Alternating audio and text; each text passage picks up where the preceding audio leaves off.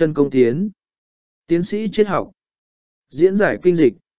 Chúng ta đã nói rằng kinh dịch bàn về sự biến dịch, thay đổi, của đạo, chứ không phải về sự biến dịch, thay đổi, của vạn vật hay vũ trụ. Bây giờ chúng ta bắt đầu diễn giải các quẻ của kinh dịch trong viễn tượng đó. Quẻ 1. Trời. Trên trời cứng mạnh. Dưới, trời cứng mạnh. Đoạn 1. Bản văn. Thoán tử của văn vương. Trời, nguyên thủy, hội thông, lợi, chính bền. Thoán chuyện của khổng tử. Một, Lớn thay đức nguyên thủy của trời, vạn vật nhờ đó mà khởi đầu, nó gồm tóm mọi vật dưới trời. 2. Mây bay mưa tới, mọi vật hoàn thành hình thể của chúng. 3. Trung thủy rất rõ rệt, sáu vị thế hào hoàn thành theo thời của chúng, chúng theo thời của chúng tới sáu rồng đi khắp trời. 4. Đạo trời biến hóa, các vật đạt được đúng tính mệnh của chúng và giữ được thái hòa, thật là lợi và chính bền. Nam. Đạo trời vượt lên trên mọi vật, muôn nước được yên. Đại tượng chuyện của khổng tử. Trời hoạt động khỏe mạnh, người quân tử coi đó tự cường không nghỉ. Hào từ của Chu Công và tiểu tượng chuyện của khổng tử. A. Hào từ và B. Tiểu tượng chuyện. Hào một dương. A. Dông con ẩn náu, chưa đem tài sức ra dùng được. B. Dông con ẩn náu, chưa đem tài sức ra dùng được, dương còn ở dưới vậy. Hào hai dương. A.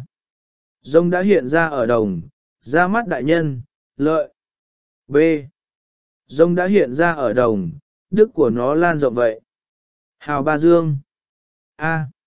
Người quân tử suốt ngày làm việc, sáng tạo, không ngừng, đến tôi vẫn lo lắng. Nguy hiểm, không lỗi. B. Suốt ngày làm việc, sáng tạo, là đạo hồi phục vậy. Hào bốn dương. A. Như muốn nhảy ra khỏi vực. Không lỗi. B. Như muốn nhảy ra khỏi vực, tiến lên, không lỗi vậy. Hào Nam Dương. A. giống bay trên trời, ra mắt đại nhân, lợi. B. Rồng bay trên trời, đại nhân hành sự. Hào Sáu Dương. A. Rồng lên cao quá, có hối hận. B. Rồng lên cao quá, có hối hận, sự đầy đủ không thể kéo dài lâu vậy.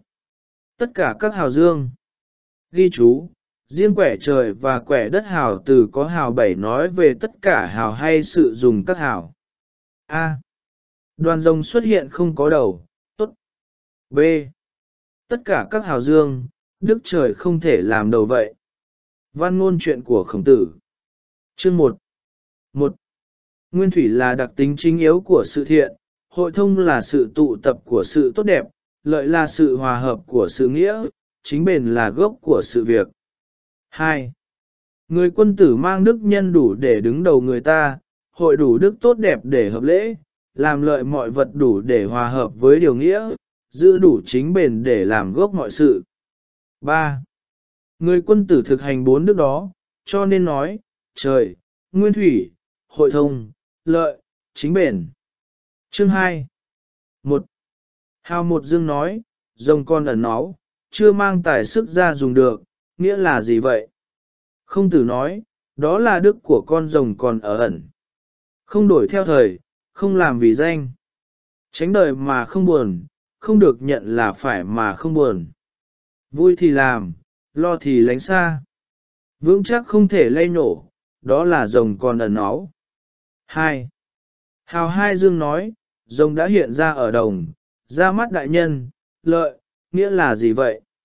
Khổng tử nói, đó là đức của rồng đã đạt chỗ trung chính. Nó đang tin trong lời nói, cẩn thận trong dung hạnh, ngăn điều tà, giữ điều thành thật, làm hay cho đời mà không cậy công, đức rộng mà làm biến đổi được người. Dịch nói, rồng hiện ra ở đồng, ra mắt đại nhân, lợi, đó là đức của ông vua. 3. Hào Ba Dương nói, người quân tử suốt ngày làm việc sáng tạo không ngừng, đến tối vẫn lo lắng. Nguy hiểm, không lỗi, nghĩa là gì vậy? Khổng tử nói, người quân tử tiến đức tu nghiệp, trung tín để tiến đức, sửa lời nói dựng điều thành thực để cư ở nghiệp, biết chỗ cùng tột và đạt đến cùng tột, người đó có thể hợp với cái cội dễ của sự việc, biết chỗ cuối chót và đạt đến cuối chót, người đó có thể giữ được điều nghĩa. Cho nên ở ngôi trên mà không kiêu căng, ở ngôi dưới mà không lo lắng. Cứ như vậy, suốt ngày hăng hái tự cường tùy theo thời đổi thay, ngay khi gặp nguy cũng không lầm lỗi.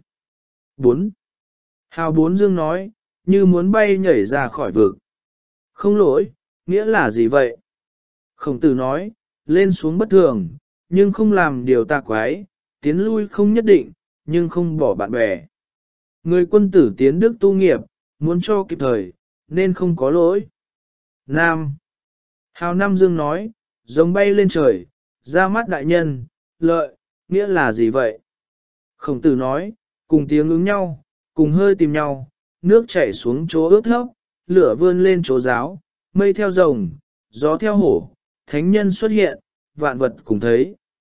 Cái gì gốc ở trời thì thân với trên, cái gì gốc ở đất thì thân với dưới, đó là vật nào theo với loài ấy.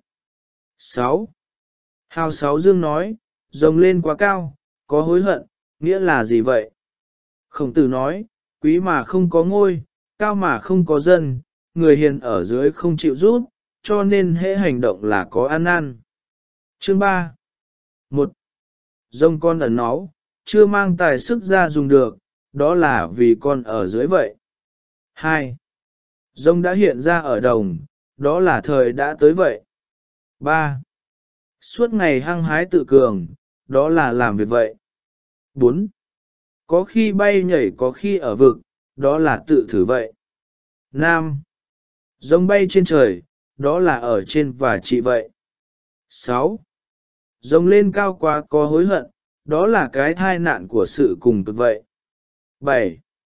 Tất cả các hào dương, trời, nguyên thủy, đó là thiên hạ được trị.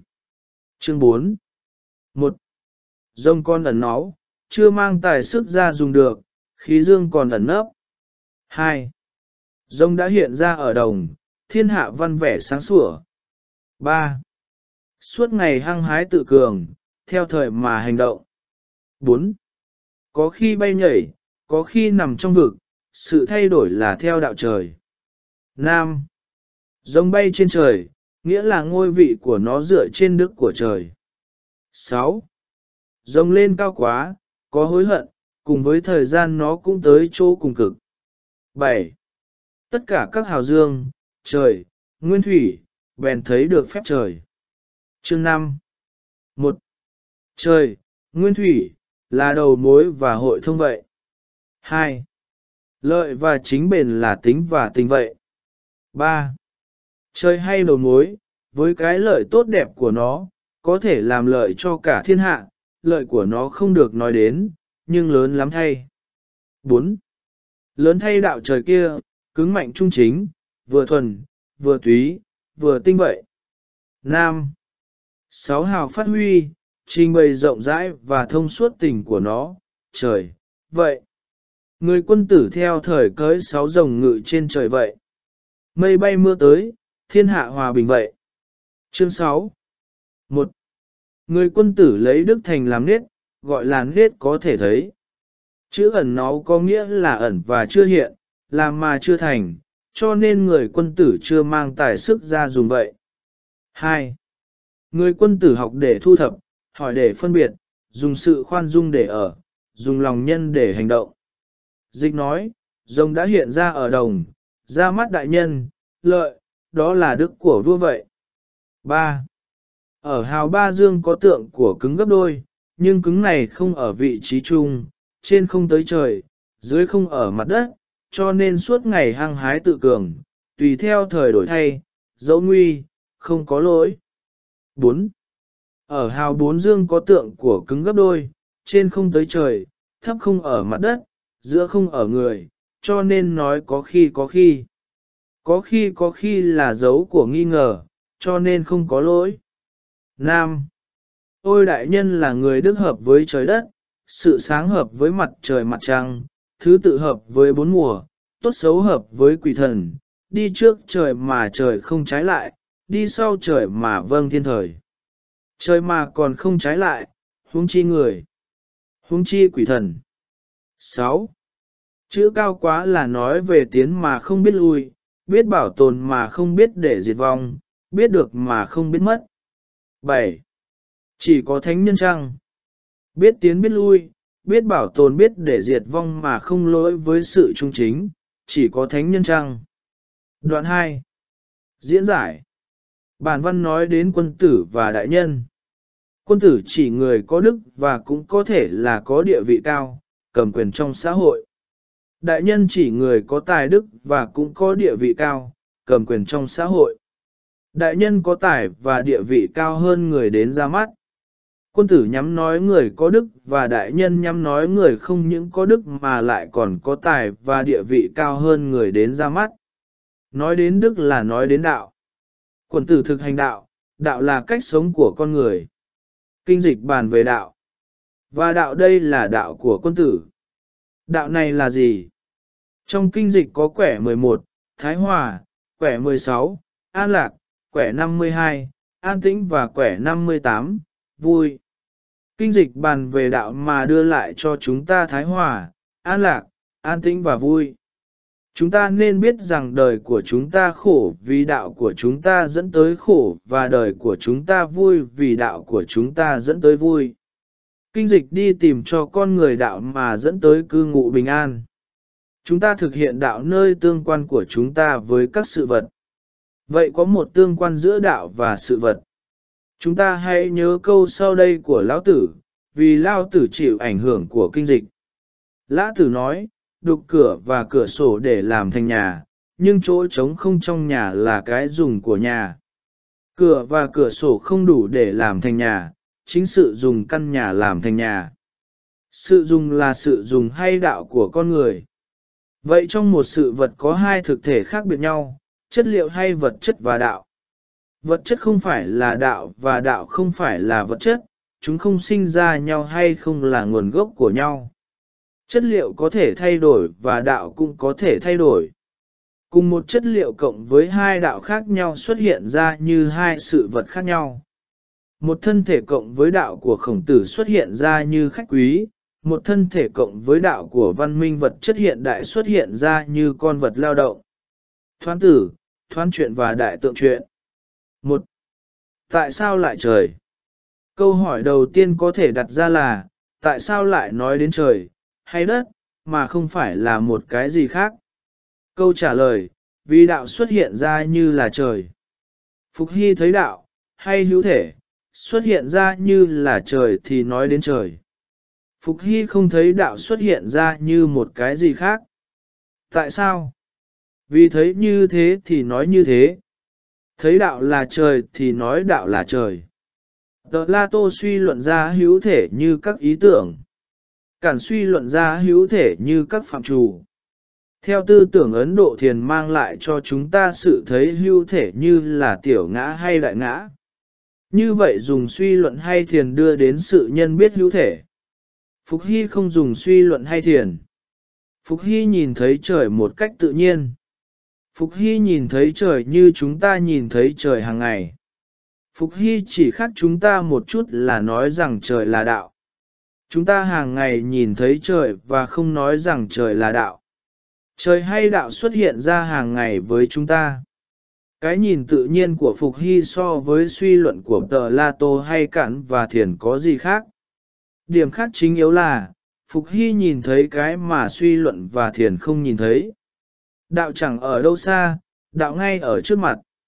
Đạo hiện diện hàng ngày với con người và các tác giả kinh dịch muốn làm cho cái đạo đó sáng tỏ ra. Đạo đó có thể gọi là Minh Đức. Minh là sáng hay xuất hiện ra và Đức là đạo. Minh Đức là cái Đức sáng tỏ ra, xuất hiện ra với mọi người. Minh Đức đó là trời. Làm sáng tỏ cũng được gọi là Minh. Các tác giả kinh dịch muốn minh minh đức hay làm sáng tỏ cái đức đã luôn sáng tỏ ra với mọi người. Cái nhìn của Phục Hy như vậy có tính cách thực tế. Thực tế như vậy có thể bị phê là thiếu cao siêu hay thiếu thâm sâu. Nhưng thực tế đó lại đúng với sự thực. Cao siêu và thâm sâu có khi lại không nhìn thấy sự thực. Nếu hiểu đạo hay hữu thể là hiện tượng, biến cố, và học là nói ra, thì kinh dịch là một hiện tượng học. Kinh dịch nhắm nói lên sự xuất hiện ra của đạo và, như đã nói, đạo dẫn tới cư ngụ bình an. Và trời là đạo dẫn tới cư ngụ bình an. Tại sao trời lại là đạo dẫn tới cư ngụ bình an? Nhìn vào trời chúng ta biết cái gì xây dựng cư ngụ bình an, gió mát, mưa thuận, nhìn vào trời chúng ta biết cái gì phá hủy cư ngụ bình an, nắng gắt, bao tố. Những gì xây dựng cư ngụ bình an là thiện hay tốt, những gì phá hủy cư ngụ bình an là ác hay xấu. Trên trời có ông trời biểu tượng cho công chính và hiền thánh. Công chính và hiền thánh là hai bộ mặt của sự thiện. Bởi đó trời là nguồn gốc của sự thiện. Kinh dịch bắt đầu với quẻ trời là bắt đầu với đạo như cư ngụ bình an. 2. Những đặc tính của trời. Các tác giả kinh dịch nhìn thấy trời. Đó là một sự kiện không thể chối cãi. Trời là gì? Không có một định nghĩa rõ rệt về trời. Trời là bầu trời gồm mây, gồm gió, gồm sấm chớp, gồm các tinh tú, gồm thần linh, gồm những gì linh thiêng, gồm những gì cao ở trên kia, gồm ông trời. Tuy nhiên ngay từ đầu kinh dịch đưa ra bốn đặc tính của trời, nguyên thủy, hội thông, lợi và chính bền. Một câu hỏi tiên quyết cần đặt ra, nhìn vào đâu hay theo chiều hướng nào để nói lên bốn đặc tính đó. Chúng ta đã nói trời là tượng hay hình ảnh của đạo. Chính nhìn từ đạo hay trong viễn tượng của đạo, trời có bốn đặc tính đó. Kinh dịch đi tìm đạo như cư ngụ bình an cho con người. Các tác giả của kinh dịch tìm thấy nơi trời có bốn đặc tính cốt yếu kiến tạo đạo như là cư ngụ bình an. Bốn đặc tính đó là nguyên thủy, hội thông, lợi và chính bền. A. Nguyên thủy. Đạo là cư ngụ bình an. Làm sao có được cư ngụ bình an? Trời chỉ cho con người biết sự thiện dẫn tới cư ngụ bình an. Vì trời có đặc tính chỉ như thế, trời biểu tượng cho sự thiện. Con người hành xử theo sự thiện và đạt được cư ngụ bình an.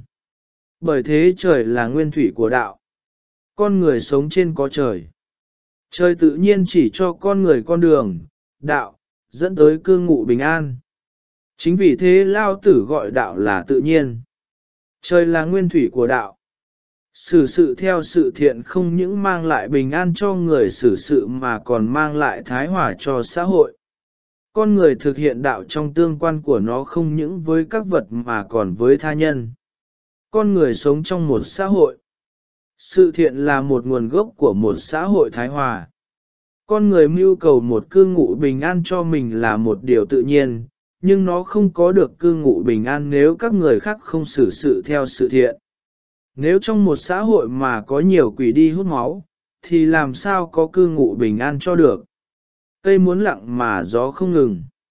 Bởi thế phải lấy ơn báo hoán, phải yêu kẻ thù mới có hy vọng tiến gần tới cư ngụ bình an. Nhân loại ngày nay lấy chiến tranh làm lẽ sống. Chiến tranh chính yếu là chiến tranh giữa các quốc gia.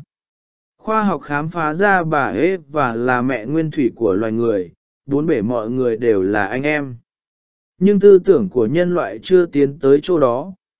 Sự xóa bỏ biên giới giữa các quốc gia hay chỉ có một quốc gia, một liên hiệp quốc là một cần thiết cho một thế giới thái hòa. B. Hội thông Hội thông là sự đạt được hay thành tựu mà không trở ngại, không vướng vấp. Con người hành xử theo sự chỉ dẫn của trời, tức là theo sự thiện, sẽ đạt được đạo như là cư ngụ bình an. Đây là một sự thật. Chúng ta sống và mưu cầu cư ngụ bình an. Nhưng đường tới cư ngụ bình an xem ra gập ghềnh và chắc trở. Hơn nữa xem ra có nhiều đường lắm. Có câu nói, lắm thầy thối ma. Kinh dịch nói rằng sự chỉ dẫn của trời thì hội thông, không trở ngại, không vướng vấp. Trong một xã hội hội thông cũng chỉ sự hòa hợp giữa các người với nhau. Nếu tất cả mọi người đều xử sự theo công chính và hiền thánh, thái hòa ngự trị xã hội. C. Lợi Lợi là có lợi cho cư ngụ bình an. Đạo chẳng đâu xa, cứ nhìn vào trời thì biết, cứ theo sự chỉ dẫn của trời mà xử sự và bình an sẽ tới. Chúng ta sống và mưu cầu cư ngụ bình an. Chúng ta phân vân không biết làm thế nào để đạt cư ngụ như thế. Đời vui cũng có mà khổ cũng quá nhiều. Khổ nhiều đến nỗi có câu, đời là bể khổ. Theo kinh dịch, trời có lợi cho đạo dẫn tới cư ngụ bình an vì nếu chúng ta biết nhìn vào trời, chúng ta sẽ thấy đạo đó. Đạo lợi cho xã hội vì nó mang lại thái hòa. D. Chính bền. Dòng đời trôi nổi, lúc thế này lúc thế khác, khi thì bình an khi thì lo âu, nguy hiểm. Biết làm sao đây? Theo kinh dịch, bao lâu hành xử theo sự chỉ dẫn của trời thì bấy lâu đạo như cư ngụ bình an sẽ được chính xác và bền vững, cho một cá nhân cũng như cho một cộng đồng. Bốn đặc tính nguyên thủy, hội thông, lợi và chính bền quyện vào nhau vì chúng là bốn mặt của trời xuất hiện ra để đạo có thể là đạo dẫn tới cư ngụ bình an.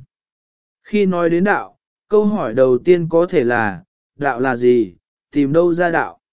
Tại sao lại có người nói chúng ta đang sống trong một thế giới ác quỷ và một đêm giết chóc rùng rợn? Người ta đang sợ một chiến tranh mà có thể xóa bỏ sự hiện diện của loài người trên hành tinh này. Phúc Hy, Văn Vương, Chu Công và Khổng Tử nói lên rằng nhìn vào trời chúng ta sẽ biết đạo dẫn tới cư ngụ bình an. 3. Trời và vạn vật Đạo như cư ngụ bình an là đạo mà con người tìm kiếm. Nhưng con người thực hiện đạo ở đâu? Con người thực hiện đạo trong đời sống của nó, trong tương quan của nó với vạn vật. Chính vạn vật là nơi xuất hiện của đạo. Một sự vật xuất hiện ra là nhờ có đạo. Lao tử nói cửa và cửa sổ không làm nên căn nhà, chính đạo, cộng với cửa và cửa sổ, làm nên căn nhà. Phục Hy nhìn thấy trời và cùng một lúc nhìn thấy vạn vật. Phục Hy nhìn thấy vạn vật xuất hiện ra dưới trời và thấy trời xuất hiện ra nơi vạn vật. Ông không nhìn thấy trời ở ngoài vạn vật và không nhìn thấy vạn vật ở ngoài trời. Trời và vạn vật xuất hiện ra cùng một lúc. Tại sao vậy? Vì thấy như thế chứ không biết tại sao cả. Thấy như thế và muốn nói lên như thế. Chẳng cần vặn đầu vóc suy nghĩ mới thấy trời và vạn vật xuất hiện ra với nhau. Nhắm mắt lại thì xem ra càng không thấy trời và vạn vật xuất hiện ra với nhau. Suy nghĩ sâu xa quá hay nhắm mắt kỹ quá có khi lại đánh mất luôn cái nhìn thấy trời và vạn vật xuất hiện quấn quýt lấy nhau. Gỗ không là cây cầu bắc qua sông. Để gỗ có thể là cây cầu bắc qua sông phải có trời xuất hiện ra. Trời và vạn vật xuất hiện ra quấn quýt lấy nhau. Trời làm những miếng gỗ kia xuất hiện ra như là cây cầu. Thông thường người ta nghĩ rằng phần vật chất là phần tạo nên vật. Nhưng các tác giả kinh dịch không nhìn thấy như thế. Các ngài nhìn thấy cái phần gọi là trời quan trọng hơn. Đó là chỗ khác biệt giữa các thánh nhân, hay hiền triết, triết gia, và người thường. Đối với các ngài, vật chất chỉ là vỏ trấu và trời kia mới là vàng ròng. Các ông ví người thường như những con lừa thích vỏ trấu hơn vàng ròng. Và thực tế đúng như vậy. Và đương nhiên người thường sẽ trả lời, vỏ trấu có thật và vàng dòng không có thật. Và khi người thường thắng thế thì họ mời các ngài đi nghỉ mát ra ngoài khỏi xã hội. Thời đại kỹ thuật ngày nay của chúng ta là thời nghỉ mát của các triết gia. Trời hay đạo xuất hiện trong vật chất và làm cho vật chất xuất hiện ra như là một sự vật. Vậy bốn đặc tính của trời là bốn đặc tính của đạo. Cần phải ghi nhận rằng khi nói đến sự vật người ta có khuynh hướng hiểu đó là vật chất, sự vật là vật chất. Người ta có khuynh hướng quên mất rằng sự vật gồm vật chất và trời. Bởi thế khi kinh dịch nói về trời, người ta có khuynh hướng cắt nghĩa là kinh dịch nói về sự vật hiểu như là vật chất. Bởi đó nói về nguyên thủy là nói về nguyên thủy của sự vật, hội thông là nói về hội thông của sự vật, lợi là nói về lợi của sự vật và chính bền là chính bền của sự vật. Từ đó còn nảy sinh khuynh hướng cắt nghĩa nguyên thủy, hội thông, lợi và chính bền là bốn giai đoạn trong việc hình thành của sự vật. Với những ý niệm thái cực âm dương và dịch người ta đã cắt nghĩa kinh dịch như một vật lý học. Kinh dịch là sách nói về sự biến dịch của vạn vật hay vũ trụ. Thái cực là cái từ đó vạn vật sinh ra, âm dương là hai khí căn bản của vạn vật và dịch là sự đổi thay của vạn vật. Cũng nên ghi nhận rằng cắt nghĩa trên đã trở thành cắt nghĩa truyền thống về kinh dịch. Người ta còn cố gắng tìm ra những khám phá của kinh dịch mà vật lý học hiện đại chứng minh là đúng. Kinh dịch xuất hiện ra như một vật lý học hay duy vật luận. Nhân dân Trung Quốc ngay ở thời xưa cũng đã có được một cái nhìn duy vật, dù đó là duy vật thô thiển. Nói như vậy là cho duy vật luận thuộc vào đỉnh cao trí tuệ.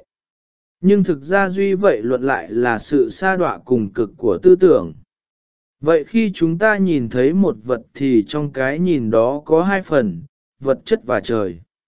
Vật chất phải là nơi trời xuất hiện ra thì vật chất đó mới được nhìn thấy như một sự vật. Đó là nét gấp đôi. Nét gấp đôi muốn nói rằng có hai thực thể xuất hiện ra cùng một lúc. Đó là hai thực thể và không phải là một. Tuy chúng xuất hiện ra cùng một lúc và cùng một nơi, chúng vẫn là hai thực thể khác nhau. Phải công nhận rằng chúng ta không thấy các tác giả kinh dịch nói rõ về nét gấp đôi đó. Tuy nhiên nhìn vào kinh dịch chúng ta có thể thấy các ngài sống trong nét gấp đôi đó. Các ngài nói về trời như là một cái gì khác với vật chất và lại ở trong vật chất. Nếu nhìn vào triết học nói chung Trung Quốc, Ấn Độ hay Tây Phương chúng ta thấy rằng nét gấp đôi vẫn là nền tảng của triết học. Ngoại trừ duy vật luận, các triết học đều công nhận có một thực thể khác vật chất và đều cố gắng đi tìm cái thực thể đó. Ngày nay vật lý học là môn học về vật chất. Triết học theo đúng nghĩa của nó là môn học về thực thể không phải là vật chất. Thực ra, vì đạo là một vật xuất hiện và, đây là một điểm rất quan trọng, xuất hiện ra như là một vật xây dựng cư ngụ bình an, bốn đặc tính nguyên thủy, hội thông, lợi và chính bền của đạo có thể cắt nghĩa là bốn đặc tính của sự xuất hiện chân thực của một vật. Cần nói thêm rằng khi một vật phá hủy cự ngụ bình an, nó không mang nơi nó cái đạo chân thực, nó mang nơi nó tà đạo. Có đạo chân thực và có tà đạo. Có thời của đạo, chân thực, và có thời của tà đạo. Xin mở ngoặc để nói thêm rằng khi chữ đạo đứng một mình và thường viết hoa, nó thường chỉ đạo chân thực. Nguyên thủy, trời, sự thiện, là nguyện thủy của sự xuất hiện của một vật xây dựng cư ngụ bình an. Một vật xây dựng cư ngụ bình an phải mang trời nơi nó. Hội thông, trời đưa lại sự thành đạt xuôi chảy cho sự xuất hiện của một vật xây dựng cư ngụ bình an. Có thể nói thêm các sự vật xây dựng cư ngụ bình an hội thông hay hòa hợp với nhau. Lợi, trời làm lợi cho sự xuất hiện của một vật xây dựng cư ngụ bình an. Làm lợi cho có nghĩa là làm cho có thể có. Chính bền, trời duy trì vững vàng sự xuất hiện của một vật xây dựng cư ngụ bình an. Thoán chuyện viết, lớn thay đức nguyên thủy của trời, vạn vật nhờ đó mà khởi đầu, nó gồm tóm mọi vật dưới trời. Vạn vật nhờ có trời mà khởi đầu, đó là vạn vật nhờ có trời mà xuất hiện ra như là vạn vật xây dựng cư ngụ bình an. Thoán chuyện cũng viết, mây bay mưa tới, vạn vật hoàn thành hình thể của chúng. Cây cầu có hình thể là cây cầu vì nó đứng dưới mây bay và vì nó đương đầu với mưa nắng. Không có mây bay ở trên và không có mưa nắng khi tới khi lui, cây cầu không có hình thể của cây cầu. Hình thể ở đây không phải là hình thể vật chất, mà là hình thể làm cho gỗ là cây cầu. Chuyện đạo làm nên một sự vật thì rất quan trọng. Bình thường khi chúng ta nhìn thấy cây cầu gỗ, chúng ta nhìn thấy trời, đạo, và gỗ ở trong đó. Ở đây xem ra không có vấn đề đặt ra. Tuy nhiên một sự vật có thể xây dựng cư ngụ bình an và có thể phá hủy cư ngụ bình an. Và chúng ta có thể làm ra một sự vật xây dựng cư ngụ bình an và làm ra một sự vật phá hủy cư ngụ bình an. Xây một căn nhà là tạo một sự vật xây dựng cư ngụ bình an và làm một trái bom là tạo một sự vật phá hủy cư ngụ bình an. Chúng ta xây dựng cư ngụ bình an hay phá hủy cư ngụ bình an là tùy theo đạo của chúng ta. Thời đại Thái Bình là thời đại đạo hưng thịnh và thời đại loạn ly là thời đại đạo suy đổi. Thời đại của văn minh hiện đại của chúng ta là thời đại hương thịnh của đạo hay thời đại suy đổi của đạo. Theo Heidegger, cái gọi là hòa bình không hiện hữu nơi thế giới ngày nay. Chiến tranh là lẽ sống của con người hiện đại. Tại sao vậy? Vì người ta lấy tiền, chứ không lấy sự thiện, làm tiêu chuẩn của xử sự. Người ta lấy tiền làm tiêu chuẩn của xử sự vì người ta lầm tưởng rằng tiền đưa lại hạnh phúc. Mà để có tiền thì gian dối và chiến tranh là những việc nên làm nhất. Tại sao chiến tranh lại đem lại tiền? Chiến tranh không chỉ nằm trong sự chiếm hữu tài sản của người khác. Chiến tranh nằm chính yếu trong sự tiêu thụ vũ khí. Sự tiêu thụ vũ khí mang lại một số tiền kết xù cho những người sản xuất vũ khí. Bởi thế nói được rằng hòa bình là cái gì không hiện hữu nơi thế giới ngày nay. Lý tưởng này hay lý tưởng kia của chiến tranh chỉ là cho bị mập bên ngoài của lòng dạ ác quỷ. Theo Heidegger, thế giới ngày nay thì ác quỷ và hoang tàn, với hoang tàn hiểu như con người không còn biết gì đến đạo nữa, không còn nhân tính nữa. Đấy là đêm giết chóc rùng rợn của Michael Jackson. Ngày nay, theo Heidegger câu hỏi về đạo, hữu thể, đã rơi vào trong quên lãng. Và, theo khổng tử, người mà không học, đạo, thì không biết lý, của đạo. Đạo đang bị nguy ngập. Khơi dậy câu hỏi về đạo là bước đầu tiên mà chúng ta phải thực hiện. 4. Chơi và nền tảng của sự vật. Chơi không phải là sự vật. Nhưng trời lại xuất hiện ra trong sự vật và nhờ đó sự vật xuất hiện ra như là sự vật. Từ đó nảy ra khuynh hướng cắt nghĩa trời như là nền tảng của sự vật và là chính sự vật xét trong nền tảng của nó. Xét trong lịch sử tư tưởng của nhân loại, đạo, không tính hay hữu thể, đã được cắt nghĩa như là nền tảng của sự vật, thái cực là nền tảng của sự vật, sắc tức là không và không tức là sắc, thượng đế là đấng sáng tạo của sự vật. Cắt nghĩa như vậy xây dựng trên một đặc tính căn bản của trời, trời xuất hiện ra và nhờ đó sự vật xuất hiện ra. Chính kinh dịch, ngoài bốn tác giả, cũng có thể gồm những lời do các người khác thêm vào. Bởi thế hẳn trong những lời của nó có các lời rơi vào các nghĩa trời như là nền tảng của sự vật. Còn chúng ta, chúng ta phải đọc nơi kinh dịch một sự xuất hiện của trời nơi sự vật và không phải là nền tảng của sự vật. Các tác giả kinh dịch đáp lại sự xuất hiện của trời nơi sự vật. Thành ra khi chúng ta đọc thấy trời nơi sự vật, chúng ta phải đọc trời không phải là nền tảng của sự vật hiểu như là nguyên nhân sáng tạo ra sự vật. Nhiều câu nói trong kinh dịch có thể cắt nghĩa hai cách. Thoán chuyện nói, lớn thay đức nguyên thủy của trời, vạn vật nhờ đó mà khởi đầu, nó gồm mọi vật dưới trời. Theo cắt nghĩa thông thường, trời xuất hiện ra như nền tảng và nguồn gốc của vạn vật. Nhưng theo cắt nghĩa của chúng ta, trời xuất hiện trong sự vật hiểu như vật chất và nhờ đó sự vật hiểu như vật chất có thể xuất hiện ra như là sự vật hiểu như gồm vật chất và trời. Kinh dịch không phải là một vật lý học hay vũ trụ học và kinh dịch không đi tìm nguồn gốc của vật chất hay của vũ trụ.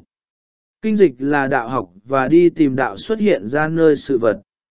Thoán chuyện nói tiếp, mây bay mưa tới, mọi vật hoàn thành hình thể của chúng. Theo các nghĩa thông thường, mây mưa làm cho cây cỏ tốt tươi và tạo ra hình thể của chúng. Nhưng theo các nghĩa của chúng ta, cây cầu chỉ là cây cầu vì nó hàm chứa mây mưa, trời, ở trong nó. Mây mưa xét như là vật chất không tạo nên cây cầu là cây cầu. Mây mưa xét như là trời xuất hiện ra nơi những khúc gỗ kia và làm cho chúng xuất hiện ra như là cây cầu. Vật lý học nghiên cứu về vật chất và kinh dịch nghiên cứu về trời. Kinh dịch không phải là một vật lý học và nó nói đến một lãnh vực mà vật lý học không biết tới. Kinh dịch không đi tìm cái gì cấu tạo ra vạn vật hay vũ trụ, kinh dịch không đi tìm nguồn gốc của vạn vật hay vũ trụ, kinh dịch cũng không đi tìm nguyên lý hay quy luật điều hành vạn vật hay vũ trụ. Kinh dịch nói về đạo hiểu như là cái gì nằm trong vạn vật nhưng khác với vạn vật. Dù các tác giả của kinh dịch không ý thức rõ rệt về nét gấp đôi, các ông cũng nhìn thấy trời, cũng như đất và quỷ thần, xuất hiện ra nơi sự vật. Đó là một sự thực xảy ra khắp trong kinh dịch. Khuynh hưởng cắt nghĩa trời hay đạo, không tính, hữu thể, như là nền tảng của sự vật là một sai lầm của nhân loại. Trời xuất hiện ra trong sự vật và tuy thế là một cái gì khác với sự vật, hiểu như là vật chất. Vì khác với sự vật, trời không phải và không thể là nền tảng của sự vật. Vật lý học nghiên cứu về vật chất và đi tìm nền tảng của vật chất. Triết học nghiên cứu về trời, đạo, không tính, hữu thể, đáng ra không đi tìm một nền tảng cho sự vật. Để chống lại lối cắt nghĩa truyền thống, chúng ta có thể gọi trời là cái không nền tảng. Trời là trời và không phải là nền tảng của sự vật. Nam Từ thiên đạo đến nhân đạo Thiên đạo là đạo của vạn vật hay sự vật thiên nhiên và nhân đạo là đạo của con người. Đọc kinh dịch chúng ta thấy một sự hội nhập hay lẫn lộn giữa thiên đạo và nhân đạo. Sự hội nhập hay lẫn lộn xem ra rất lung tung. Đang nói về thiên đạo ra quay ra nói về nhân đạo. Tại sao như vậy? Một đặc tính căn bản của trời là khi nó xuất hiện ra nó xuất hiện ra con người. Trời và người, tư tưởng, là một. Không có trời ở ngoài con người. Khổng tử nói, người là nơi trời đất giao nhau và quỷ thần gặp nhau và đạo mà xa người, nó không còn là đạo nữa. Tại sao lại như thế? Vì sự thực là như thế. Như vậy thiên đạo và nhân đạo là một. Có thể nói không có thiên đạo và chỉ có nhân đạo. Một sự vật xuất hiện ra như là cây cầu vì có con người nhìn nó như là cây cầu. Từ đó có khuynh hướng cắt nghĩa con người là thước đo vạn vật. Từ đó có khuynh hướng duy tâm. Sự vật là như là con người nhìn nó. Tâm quyết định tất cả. Tuy nhiên tâm chỉ là tâm khi nó đáp lại tiếng nói của trời. Tâm không tạo ra trời mà trời tạo ra tâm như là tâm. Tâm muốn là tâm thì tâm phải nhìn thấy trời. Trời không ở trong tâm, nhưng trời cũng không phải là cái gì ở ngoài tâm. Ở trong hay ở ngoài là nói theo sự vật. Trời không phải là một sự vật. Vậy thiên đạo cũng diễn tả một đặc tính của đạo. Thiên đạo tức là nhân đạo. Đạo xuất hiện ra và xuất hiện ra trong cách thể làm cho con người thực hiện sự xuất hiện đó. Con người quản trị sự xuất hiện của đạo. Và con người chỉ quả thực là như là con người khi nó quản trị đạo. Yếu tính của con người nằm trong sự quản trị đạo. Nhưng khi nói đến nhân đạo vấn đề trở nên phức tạp, con người phải thực hiện hay quản trị đạo như thế nào? Con người sống hay cư ngụ bên cạnh các sự vật và với tha nhân hay trong xã hội? Vậy con người phải thực hiện đạo hay để cho đạo xuất hiện ra nơi các sự vật và trong xã hội? Đạo không chỉ xuất hiện ra trong tâm trí con người. Đạo xuất hiện ra nơi sự vật và trong xã hội. Bởi vì thiên đạo là nhân đạo, cho nên chúng ta thấy trong kinh dịch đầy những lời nói về các hành động mà con người phải làm trong nhân quần xã hội. Trong kinh dịch triết học là đạo học. Không có triết học hiểu như là môn học về một thực thể nào đó không liên quan gì tới con người. Đạo chỉ là đạo khi con người thể hiện đạo đó.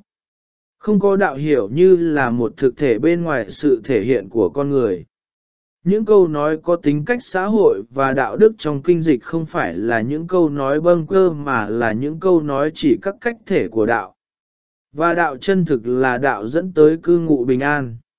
6. Sự xuất hiện và ẩn dấu của trời. Trời xuất hiện ra để cho gỗ xuất hiện ra như là cây cầu. Khi nói xuất hiện ra là nói xuất hiện ra với con người. Con người khi nhìn thấy cây cầu là nhìn thấy trời. Tuy nhiên khi con người nhìn thấy cây cầu, nó lại quên mất trời. Nó tưởng rằng chỉ nhìn thấy cây cầu mà thôi. Nó không nhìn thấy cây cầu là nét gấp đôi của trời và gỗ. Nó chỉ thấy cây cầu như một sự vật vật chất. Tại sao vậy? Vì trời xuất hiện ra và lại ẩn giấu đi. Trời xuất hiện ra cho gỗ xuất hiện ra như cây cầu và trời ẩn giấu đi. Tại sao trời lại ẩn giấu đi? Vì trời ẩn giấu đi. Sự thực là như thế. Trời có thể ẩn giấu đi đến độ người ta quên nó luôn. Vừa xuất hiện vừa ẩn giấu là hai mặt của trời. Hào từ và tiểu tượng chuyện. Hào từ và tiểu tượng chuyện nói về việc thực hành đạo tùy theo thời hay hoàn cảnh và bởi đó cũng nói về sự xuất hiện và ẩn giấu của trời. Tùy theo thời hay hoàn cảnh là thế nào? Có thời và hoàn cảnh cho đạo hưng thịnh và có thời và hoàn cảnh cho đạo suy vong. Hào một dương, rồng được lấy biểu tượng cho trời. Rồng là con vật thần bí, nhưng lại có sức mạnh. Sức mạnh của rồng biểu tượng cho sức mạnh của trời. Sức mạnh của trời là làm cho vạn vật xuất hiện ra, nhất là xuất hiện ra như xây dựng cư ngụ bình an. Ở hao một rồng còn ẩn náu. Câu nói này phản ảnh tính cách ẩn giấu của trời hay đạo. Đạo không phải là lúc nào cũng xuất hiện ra. Đạo con ẩn nó và chúng ta không dùng nó được. Đạo con ẩn nó vì con người chưa thể hiện nó ra. Con người chưa thể hiện nó ra vì con người chưa thấy đạo. Chính tiểu nói đạo còn ẩn nó cũng có thể gây cho người ta hiểu là đạo nằm ở một nơi nào đó ngoài con người. Lời không diễn tả hết được ý. Hào hai dương, con người đã đáp lại tiếng gọi của đạo hay đạo xuất hiện ra rõ, rồng đã hiện ra ở đồng. Thời của hành động đã tới, bởi thế nói được, ra mắt đại nhân, lợi. Đại nhân sẽ giúp cho. Hào ba dương, con người suốt ngày lo mang đạo vào đời, đến tôi vẫn còn lo lắng. Đó là mối ưu tư về đạo của con người. Con người sống bên cạnh vật chất và gắn bó vào vật chất, có khuynh hướng quên đạo đi. Thực hiện đạo rất khó. Đạo xuất hiện ra như một nguy hiểm. Nguy hiểm, con người thường đánh mất đạo. Nếu hiểu thiện là giữ đạo và ác là không giữ đạo, thì tính bản thiện là tính đáp lại tiếng gọi của đạo và tính bản ác là tính có khuynh hướng quên đạo đi. Đạo vừa xuất hiện ra vừa ẩn giấu đi. Vậy tính của con người vừa thiện vừa ác. Tuy nhiên, vì con người, xét trong yếu tính của nó, mưa cầu đạo như cư ngụ bình an, đúng hơn nếu nói rằng con người tính bản thiện.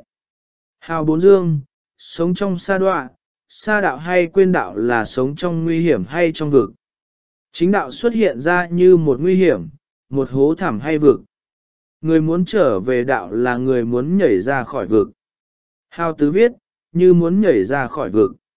Hào Nam Dương, đạo đã hiển hiện khắp trời. Người đời đã nhận biết đạo. Mình có thể vào đời giúp người. Một đại nhân giúp mình đem đạo vào đời là một việc lợi. Hào Sáu Dương, một quan niệm ngay từ thở xưa được chấp nhận ở Trung Quốc, cái gì đi tới chỗ tột cùng thì biến đổi ngược trở lại. Đạo đến chỗ tột cùng thì sinh ra hối hận. Hối hận, hối tiếc vì theo đạo quá có thể rơi vào hư không. Đạo khác với sự vật, nhưng đạo phải xuất hiện ra trong sự vật.